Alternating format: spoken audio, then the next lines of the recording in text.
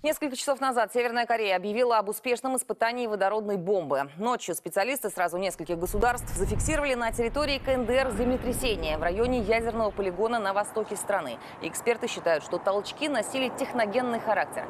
Позже о проведении испытаний сообщило северокорейское телевидение. Сегодня в 10 часов утра Северная Корея успешно провела первое испытание водородной бомбы. Как ответственная ядерная держава, мы не будем применять такое оружие первыми и используем его только для защиты своего суверенитета. Мы не откажемся от развития нашей ядерной программы до тех пор, пока Соединенные Штаты проводят в отношении КНДР порочную враждебную политику. На заявление из Пхеньяна резко отреагировало международное сообщество. Не исключено, что на экстренное заседание соберется Совбез ООН. Официальный протест уже выразила Япония. В Южной Корее приведена в повышенную боеготовность армия. В то же время некоторые эксперты выразили сомнения в том, что испытана именно водородная бомба. Максимум очередной ядерный заряд. Впрочем, насчет этого есть сомнения. Радиационный фон, как фиксируют средства контроля соседних государств, остается в норме.